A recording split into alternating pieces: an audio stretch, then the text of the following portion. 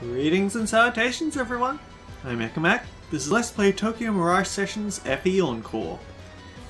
This is the 100th episode! This is my first time ever making a Let's Play that goes for more than 100 That goes for more than 100 episodes. This is the final area, but we've got a long way to go to the end so long that I've actually made a special Chris, that I actually made a special discussion to fill the time while we slug our way through all these fights. We insert the flame crystal into the recess. Is this a boss fight? I felt like it should be a boss fight. Looks like the crystal is some kind of key. I sense a dangerous presence up in the sky. What should I do?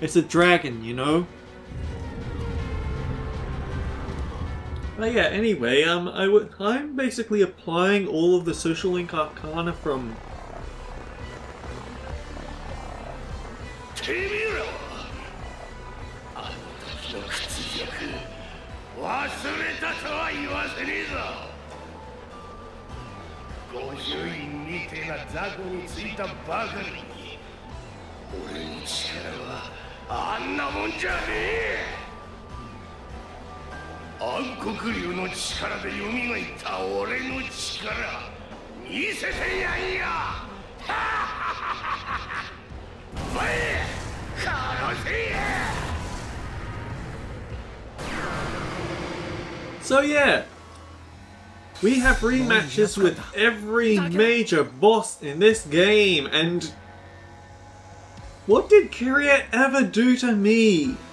I'm always bringing her in against these bosses with sword attacks. And forgetting that this is... A... In fact, I actually forgot that you were even one of these rematch boss fights. It also doesn't tell us his weaknesses, so hmm. But yeah, you can see why this is going to be a bit of a time sink Mabufudyne.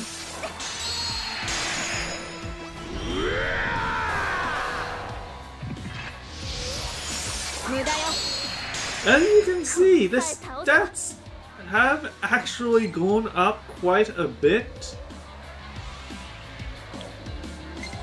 Ah,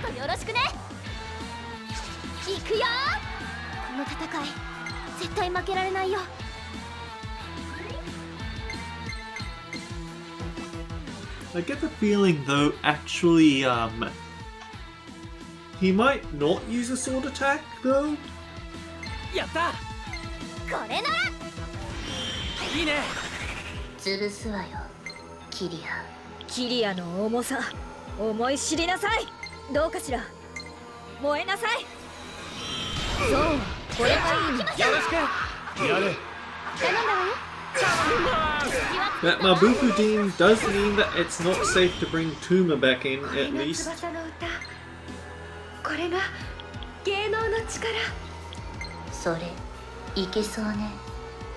I mean, we know you're weak to lances, it's just we're not going to take advantage of it.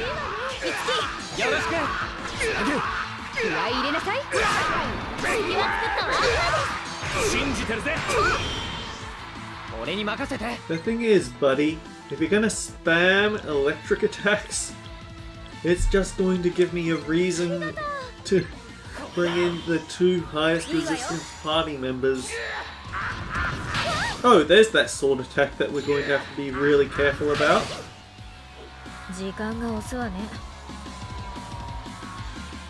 Wait. Go back, me, and tell me if Tsubasa was actually... Oh, good gravy! Tsubasa, your defense is lower than Kiria's! What happened to you? It's probably the master classes that I gave them now that I think about it.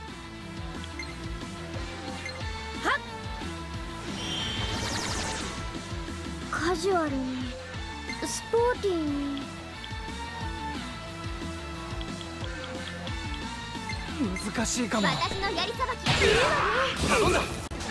Next time Kiria's turn comes around, even though it's probably a bad idea, I want to swap her back for Touma simply so that we can show off old time. We can do it for old time's sake.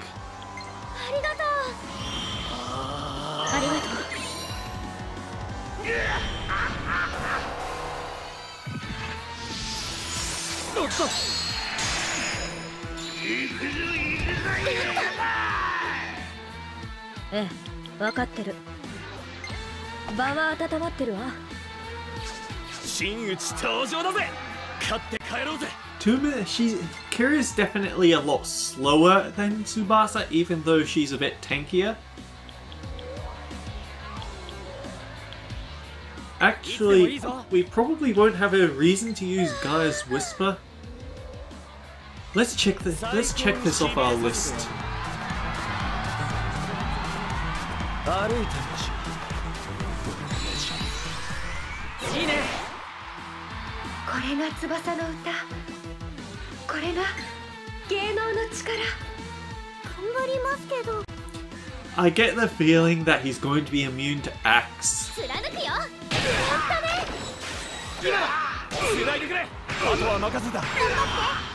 Granted, because it's at the end of a session when he's in overkill time, it'll probably work anyway.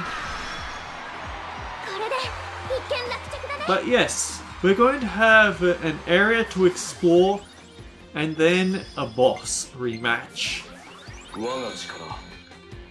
Although I don't actually remember whether we have a rematch directly against Dark Yashiro because he actually replaces Yashiro in the rematch against Exilus, which makes me wonder if Dark Yashiro is just going to be considered as that on there. Oh, memory has something to say.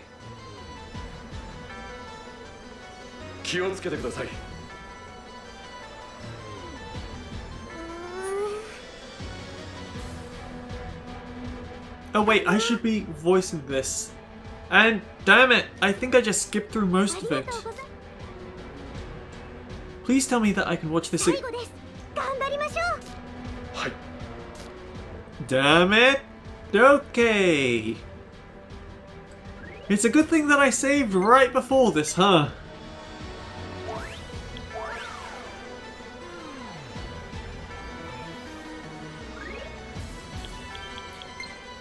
So then, I'm going to do this again properly. It feels bad to swap them out like this, but uh, what are you going to do? Also, maybe I should put on weapons that...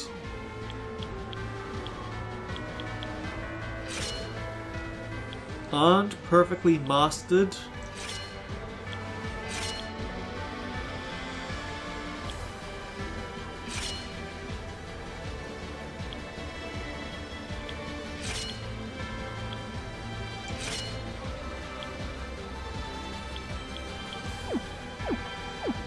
Anyhow, since we already know what's going to happen, I can just... talk over it. Anyway, last time I finished off discussing the, the, the reason why Barry and Tarachino both count as this... Hang on. Whoops. Okay, Barry can be 4.5 and Tarachino can be 5. because I was talking about Hierophant, which is number 5. In this episode, we start off with Lovers, number 6. This originally represented two paths life could lead to and needing to make a decision. These days it's more about love and romantic relationships, but it can still be a symbol of finding agreement between an ordinary friend or with the two conflicting elements.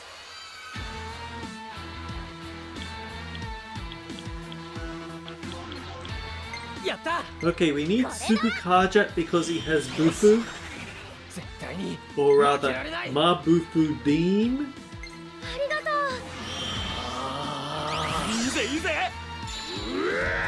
The important point here is that Tsubasa almost died to that critical piercing blade.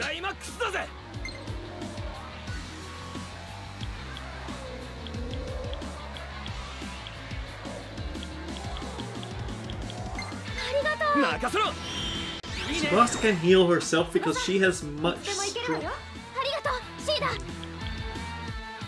Tsubasa should heal herself because she's the stronger healer. She's the one with the healing expertise X. The thing is that Suba, that Tsubasa and Touma are both able to actually do things against this guy and start sessions. Oh, sweet! Another ad lib to add to the list.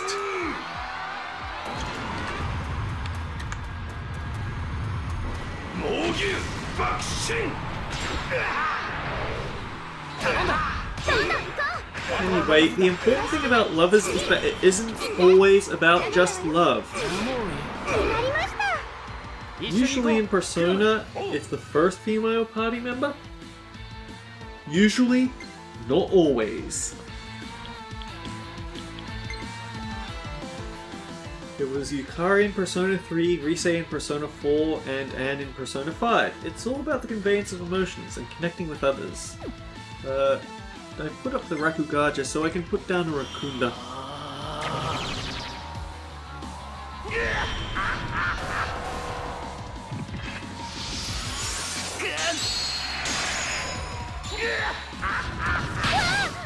What do you have against Tsubasa?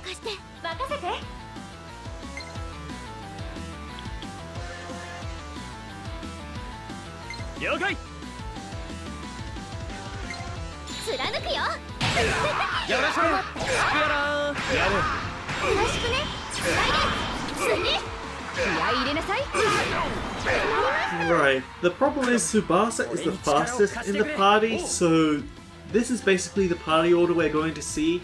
I really want to do the striker pose, uh, the raging whisper combo, but it doesn't look like it's going to happen.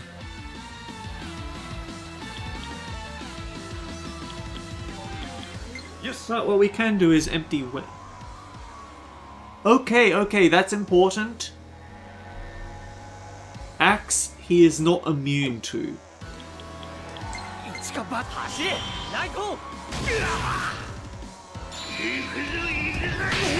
the question is, did I kill Tsubasa by not helping her?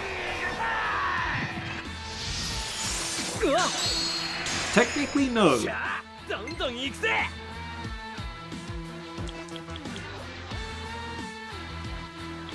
Honestly, let's just throw it all away here. Higher damage when I'm at lower HP. Well, maybe Tsubasa can learn it. Lovers is about the conveyance of emotions and connecting with others. And I'm focusing on the personal connections for this list.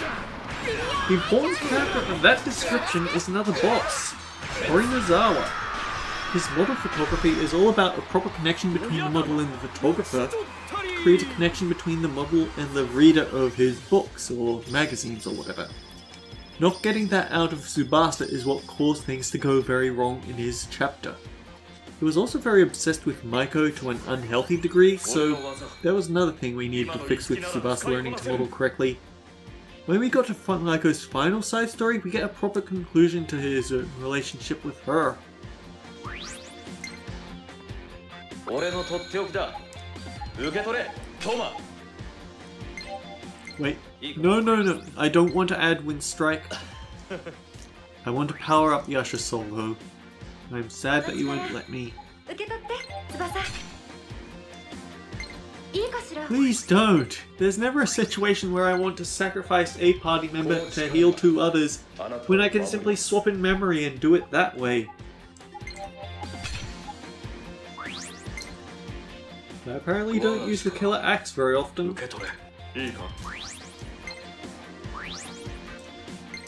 Number 7 is Chariot. This arcana is the symbol of victory, conquest, self-assertion, self-confidence, control, war, and command. And now I need to do this one properly and...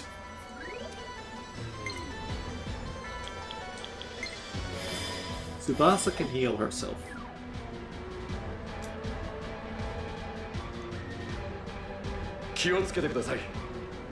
Master, it would appear that the final battle is but moments away.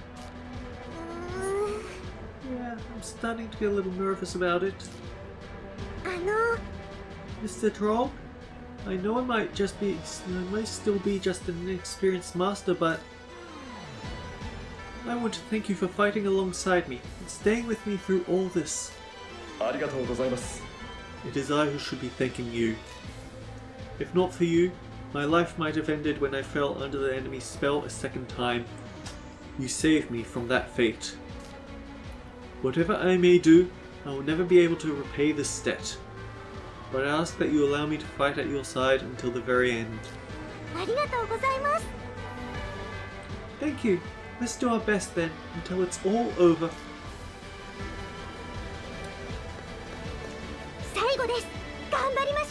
This will be our final battle. Let's stay vigilant until we see it to the end. Hi. Yes, master. I guess it's just these two. Frick! I just removed something that I've been forgetting to do and still haven't. Whoops. Eagle. Final battle is at hand. Touma, prepare yourself. Our ultimate nemesis will be a dire foe indeed. Oh yeah. Hey, don't worry Cain, I'm already hyped and ready. Ah, of course, that's just the kind of person you are. Touma, despite our hardships, I... I've enjoyed our time together. yeah, thanks man. It's been fun for me too. This cheerless atmosphere does not suit us. Let us ride on. No hesitation, no surrender. To the very end. Oh yeah! Yeah, that's right. We charge our enemies herd on, no stopping. Let's do this, Cain! Indeed. I still haven't promoted Yashiro.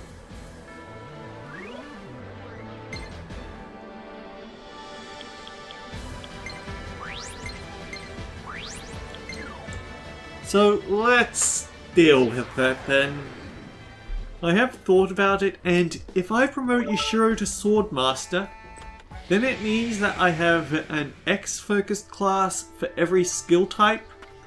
So, as much as I was pleasantly surprised by promoting Memory into a into a Berserker instead of a General, and it, uh, although I did say the other times that I'll just help not I'll just help myself out by always promoting top.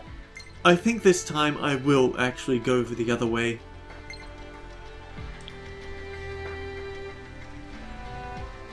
It's tempting! Man, you actually get more speed for going hero than Swordmaster. About 3 speed. And also we break the 999 health limit. これでいいかなそれじゃあユニティするよ行くよクラスチェンジいつでも行けるぞ判断は任せるお願い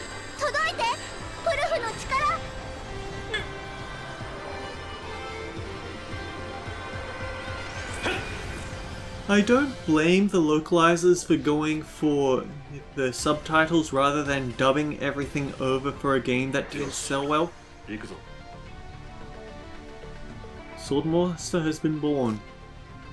But I always feel like I'm missing... I feel like there's so many little details that we miss out on by not being able to understand the common dialogue. Nevek now use Special Performance Karma Cut, so something new to add to my list of things we need to see before the end of the game. One or more new Carnages has been unlocked through class change.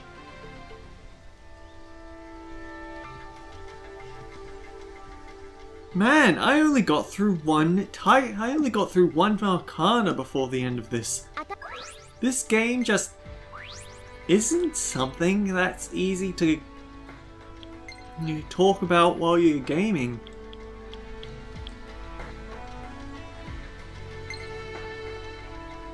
Right, we want this one because we want his stronger strike skills. Sure, we can use more.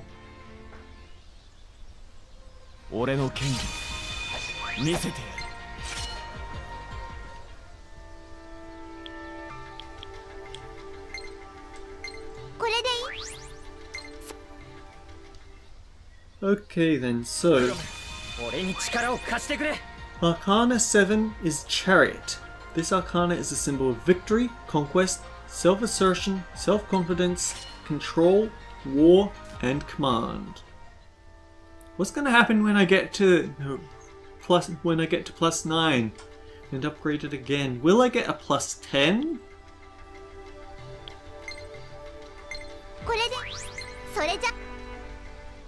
I don't know, anyway.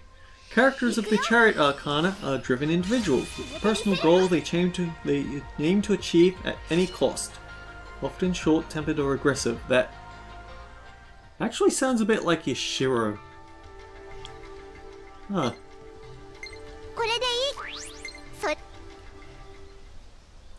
In Persona 3, there were two chariot uh, characters. There was Kazushi Miyamoto, the sports club member of the same club the protagonist picked, and there was Aigis. Kazushi is all about being the champion of whatever sport you chose to involve yourself in because of the deal he made with his nephew. Even if it means he's going to lose the use of his leg for the rest of his life, he is going to win that championship. And you very... as much as you'd need to, yeah, you talk him out of it.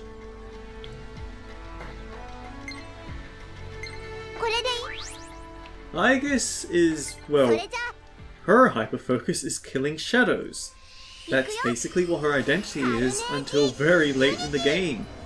She sees herself as a machine with only the purpose of shadow slaying. And she's very driven to kill those full moon shadows that are, that are causing so much trouble for everyone. Chie Satonaka is the Persona 4 Chariot Arcana. She's very driven to stamp out wrongdoing, but she's got a bad case of tunnel vision. Of tunnel vision. She'll vent her anger on people that don't deserve it alongside those that do. It explains why the Chariot and Justice for Moon Arcanus had to be a team. One without the other is far less useful. Persona 5 has Ryuji as the Chariot Arcana. Uh,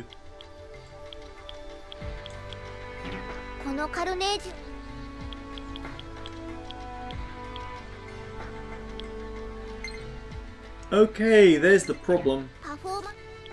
We either don't have the Arcana, uh, we do either don't have the Arcana to fuse it, or we don't have it leveled enough, which I suppose is better than what you normally get. Anyway, Ryuji Sakamoto. He likewise had problems with retaliating in the wrong way. If you remember the stuff that happened with him for Kamoshida is that Yes, Kamoshida was an awful person and he did deserve to be called out, but the way that Ryuji went about it made it possible for Kamoshida to get what he wanted. He was able to shut down the sports club that was overshadowing his.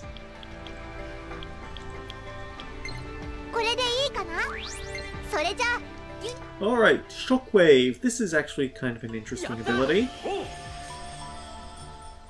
Did I skip over the ability to look at it? Knocks down all nearby enemies. So the next time I get one of those shadow ambushes, if I'm fast enough to pause, I can use that ability to get out of it. But often they'll be catching me off guard as much as the party. Also, I shall treasure our meeting, Itsuki. But do not let your successes and experience go to your head.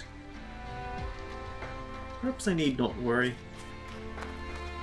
I vocalized that very much wrong, but I don't care.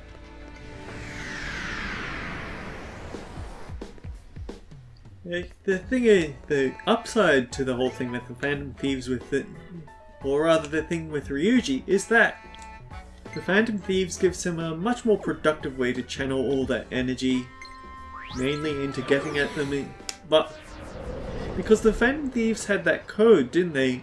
It's, you can't, we all have to agree before we go after someone. Uh, I did not see your request the last time I passed, whoops. Uh, hey, thanks for the help last time. I got another favour to ask of you, can you help me out? Yori can't stop falling in love. Cool, thanks. Let's talk later at the same spot. I need to calm down a bit.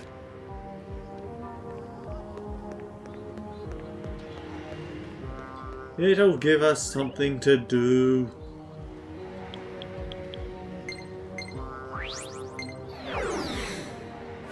Anyhow, all of that said, who matches the Chariot Arcana in Tokyo Mirage sessions?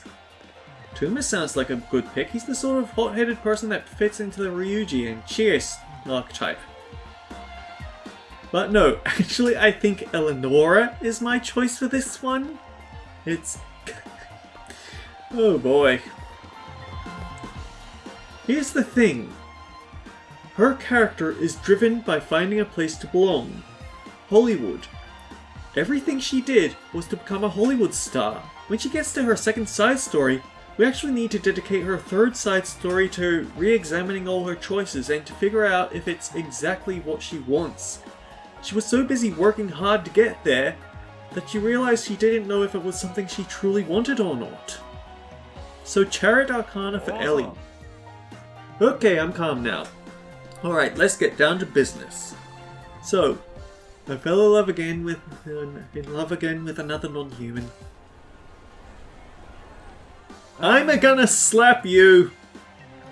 Speechless? Yeah, I know. Get used to it already. I mean, it's the third time. Has this really happened three times? It's more or less the same as last time. Somehow wandered into a world on the other side of that weird gate.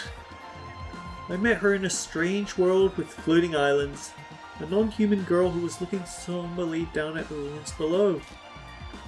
So my request is simple. I want to talk with her again. Thanks, man. I'm counting on you.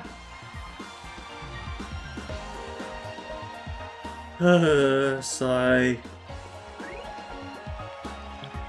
And unfortunately, I can't rant about this quite as much as Ayaha because Ayaha we got a lot of side quests with Aya, and it just illustrates how squandered her potential was. With Yori, it's just annoying. I need to prepare. I need to get ready for Comedy Coliseum, but... Yeah, you do that. Uh, oh dear, I just looked at what I wrote for the Justice Arcana. That's definitely more than two minutes worth of dialogue, whoops. So, yeah, shorter, shorter discussion today, but mainly because I had a boss fight and it's Tokyo Mirage Sessions. It's of the same people who made the Persona games and SMT games, and based off of the people who made Fire Emblem games, of course it's going to be hard. If you're distracted, you die. So, next time we continue my little talk about all the different abilities for the game. I mean all the different ways we can apply characters to Social Link Arcana. And we continue further into Illusory Dolhr. Until next time guys, take care. I'll see you all around.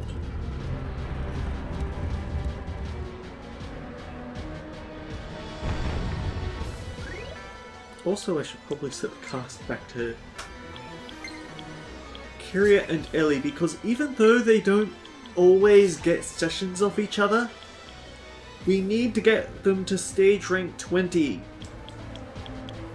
It would be awful if we got to the final boss and we didn't. Either way, until next time guys, take care, we'll see you all around.